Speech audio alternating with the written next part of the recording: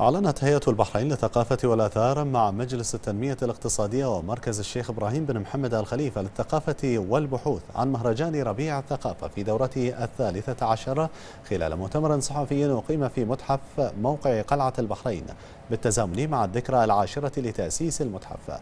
وضمن برنامج هيئة الثقافة الذي يحتفي باختيار المحرق عاصمة للثقافة الإسلامية هذا ويقدم مهرجان ربيع الثقافة في نسخته الثالثة عشرة مجموعة متجددة من الفعاليات والأنشطة الثقافية التي تخاطب شتى شرائح المجتمع وتتنوع في مضمونها لتنسجم مع كافة أفراد العائلة حيث تنطلق حفلات حفلات مهرجان ربيع الثقافة الغنائية مع العرض الموسيقي ملحمة جلجامش الذي يستضيفه مسرح البحرين الوطني يوم الخامس والعشرين من فبراير الجاري خلال يوم السياحة يوم السياحة العربية الذي أطلقته المنامة حين كانت عاصمة السياحة العربية عام 2013 وتزامنا مع ذكرى ميلاد الرحال العربي ابن بطوطة.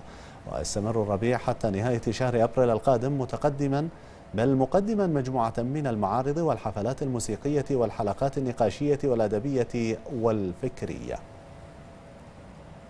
اليوم مناسبتين. الإعلان عن برامج ربيع الثقافة في نسخته الثالثة عشر في موقع قلعة البحرين. اليوم مناسبة عزيزة أخرى.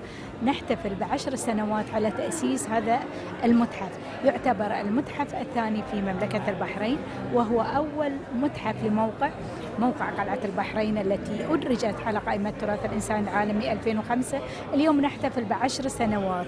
لهذا المتحف الذي أصبح يستقطب العديد من السواح الذين يقصدون البحرين لمعالمها التاريخية والأثرية.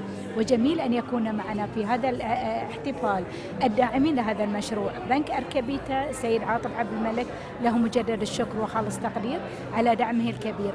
وأيضا دكتورة مونيك كرفران التي نقبت في القلعة في أولى البعثات الفرنسية التي جاءت إلى البحرين لكي تكتشف تكتشف أو تواصل الاكتشافات التي تحققت منذ 1954 وتواصلت مع البعثة الفرنسية التي استمرت إلى يومنا هذا.